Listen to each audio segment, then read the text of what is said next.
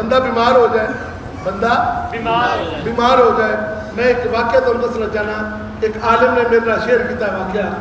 ने बहुत बड़ी बहुत बड़ा आलिम है। उन्हें आख्या कि मैं एक मलिक साहब बहुत बड़े सन फौत हो गए। मैं उन्होंने कोल गया उन्होंने पहला बीमार सन हस्पताल गया। बच्चे उन्होंने बड़े अमीर कबीर बहुत बड़ा उन्होंने सैटअप है। ਮੈਂ ਜਦੋਂ ਗਿਆ ਤੇ ਬੜੇ ਮੁਹੱਬਤ ਕਰਨ ਵਾਲੇ ਸਨ ਉਹਨਾਂ ਨੇ ਬੱਚਿਆਂ ਨੇ ਬਾਹਰ ਮੈਨੂੰ ਰੋਕ ਕੇ ਤੇ ਜੱਫਾ ਮਾਰ ਕੇ ਰੋਣ ਲੱਗ ਪਿਆ ਬੱਚਾ ਮੈਂ ਕਿਹਾ ਪੁੱਤਰ ਰੋਣ ਦੀ ਵਜ੍ਹਾ ਕੀ ਹੈ ਤੇਰਾ ਤਵੱਜੋ ਨਾਲ ਗੱਲ ਸੁਣੀਏ ਉਹ ਬੱਚਾ ਆਖਣ ਲਗਾ ਕਿ ਲਾਮਾ ਸਾਹਿਬ ਅਸਲ ਮਸਲਾ ਬਣ ਗਿਆ ਕਿ ਮੇਰੇ ਵਾਲੇ ਸਾਹਿਬ ਜਿਹੜੇ ਨੇ ਉਹਨਾਂ ਨੂੰ ਇਸ ਚੀਜ਼ ਦੀ ਖਬਰ ਨਹੀਂ ਕਿ ਡਾਕਟਰਾਂ ਨੇ ਉਹਨਾਂ ਨੂੰ 10 ਦਿਨ ਦੇ ਦਿੱਤੇ ਨੇ ਕਿੰਨੇ ਦੇ ਦਿੱਤੇ ਨੇ 10 ਦਿਨ ਫਿਰ ਬੋਲੋ 10 ਦਿਨ ਇਹਦਾ ਕੀ ਮਕਸਦ 10 ਦਿਨ ਦਿੱਤੇ ਕਿਉਂ ਨੇ ਉਹ ਤੋਂ ਜਿਹੜਾ ਕੈਂਸਰ ਦੀ ਬਿਮਾਰੀ ਹੈ ਤੇ 10 ਦਿਨ ਦੇ ਅੰਦਰ ਅੰਦਰ ਇਹਨਾਂ ਕੀ ਹੋ ਜਾਣਾ ਹੈ ਫੌਤ ਮੈਕਸਿਮਮ 10 ਦਿਨ ਉਹਨਾਂ ਦੇ ਕੋਲ ਨੇ ਤੇ ਤੁਸੀਂ ਜਾਓ ਵਾਲੇ ਸਾਹਿਬ ਨੂੰ ਮਿਲੋ ਜਾ ਕੇ ਅੰਦਰ ਪਰ ਹੱਥ ਬੰਨ ਕੇ ਅਰਜ਼ ਕਰਨੇ ਆ, ਵਾਲੇ ਸਾਹਿਬ ਨੂੰ ਦੱਸਿਆ ਨਾ ਵਾਲੇ ਸਾਹਿਬ ਨੂੰ ਦੱਸਿਆ ਹੈ ਨਾ ਸਾਰਿਆਂ ਭਰਾਵਾਂ ਭੈਣਾਂ ਰਲ ਕੇ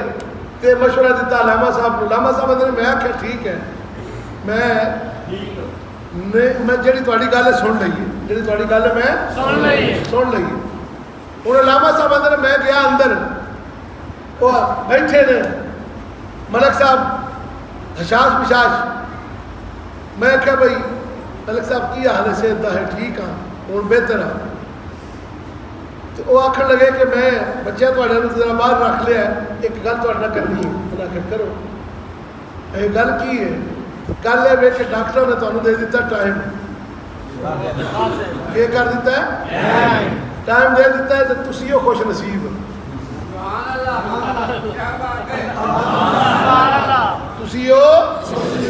कि गल के खुश नसीब हो कि तू मरण तो पहला पता लग गया मैं मर रहा हूँ टाइम का पता चल गया कि मेरे को इन्हें जाने में खुश नसीबी ये वे कि वह आते सन मैं उन्होंने पूछा मैं क्यों ना दसा उन्होंने वो आते ने कि उन्होंने शाक आवेगा शाक समझ दो ना यानी वो घबरा जाएँगे ਅੱਛਾ ਮੈਂ ਗਿਆ ਫਿਰ ਉਂਝ ਹੀ ਮਰ ਜਾਣਗੇ।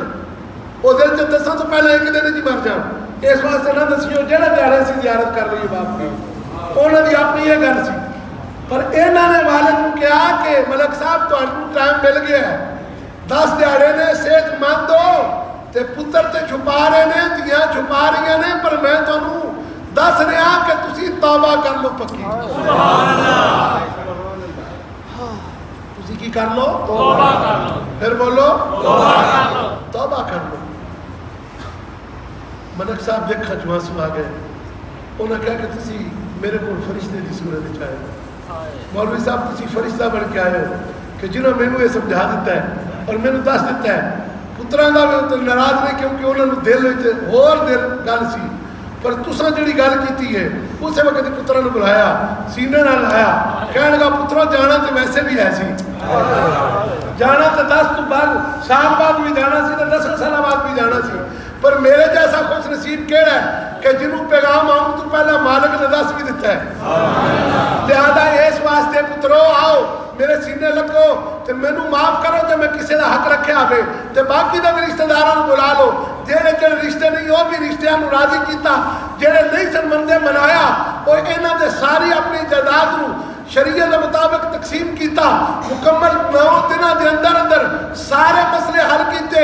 ਸਰ ਸਜਦੇ ਵਿੱਚ ਗਿਆ ਤੇ ਮਲਕ ਔਰ ਅੱਲਾ ਦੀ ਬਾਰਗਾਹ ਵਿੱਚ। ਇਹ ਟਾਈਮ ਸਾਡੇ ਕੋਲ ਵੀ ਇੰਜ ਰਹੀ। ਟਾਈਮ ਸਾਡੇ ਕੋਲ ਬੋਲੋ ਨਾ। ਇੰਜ ਰਹੀ ਸੁਣੋ ਜਦੋਂ ਟਾਈਮ ਇੰਦਾ ਹੋਵੇ। तो वेखना चाहिए ना कि मालिक हज़रत बिलाल सबको रज़ी अल्लाह आप की। शान कि अल्लाह के हबीब न मुहब्बत है अल्लाह के हबीब उन्होंने मुहब्बत फरमा एक तरफी नहीं दो तरफी बल्कि नबी पाक का पूरा घर ही हज़रत बिलाल ने मुहब्बत करना मुहदन रसूल बोलो सुबहान आप बीमार हो गए मर्ज मिसाल आपकी बीबी रोन लग पी बीबी रोन लग पी कि मेरा सरताज जान लग गया इस दुनिया तो से छोड़ तो हज़रत बिलाल रज़ी अल्लाह तहो मुस्कुरान लग पे और मैं रात में गल दसा।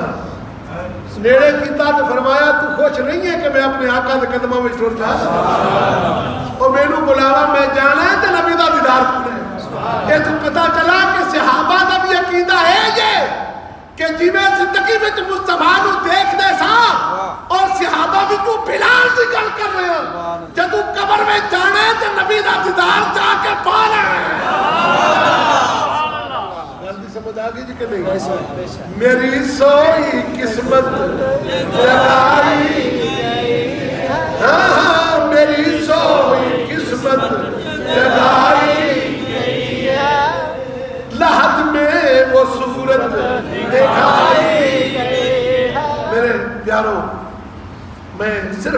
आज नसीहत के तौर पर आपसे ये बात अर्ज़ करता हूँ, अपनी ज़िंदगी नो बिल्कुल आखिरी दिन समझो।